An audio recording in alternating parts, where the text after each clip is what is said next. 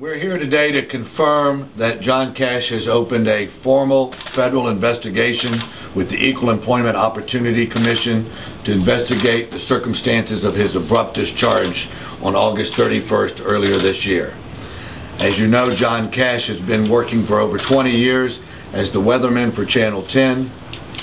On August 29th, he appeared before a pulpit within an hour of the sermon he was given an email by Doug Davis, the general manager of Channel 10, and two days later was fired, we believe, for comments made from the pulpit on the 29th. We believe this for three reasons. One, the timing of the email within an hour of the sermon.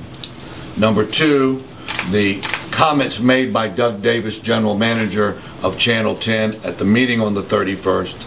And finally, most important, the actions of the station which were to discharge Jon Cash from his duties. One reason that we're addressing you folks today is to make sure the public understands that there was never any allegation of malfeasance or nonfeasance regarding Mr. Cash's performance in the station or on air. Under all circumstances, Mr. Cash has conducted himself professionally, has always been early for his work, and has performed diligently as evidenced by the popularity into the community.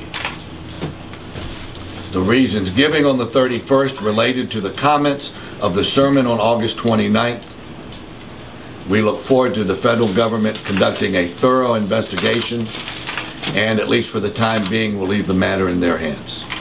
Well, the comment that was quoted back by the general manager, and we don't believe that he was in the congregation, he obviously had um, some line of communication as to what was said because the general manager quoted back to Mr. Cash. Specifically, Mr. Cash made a comment that the Lord had called him to full-time ministry beginning next summer. Mr. Davis's comment was that it was, quote, very bad for business. And I will leave it to Mr. Davis to explain that uh, both to the authorities at the EEOC and to the general public why it is that they believe a man going into full-time ministry is very bad for business.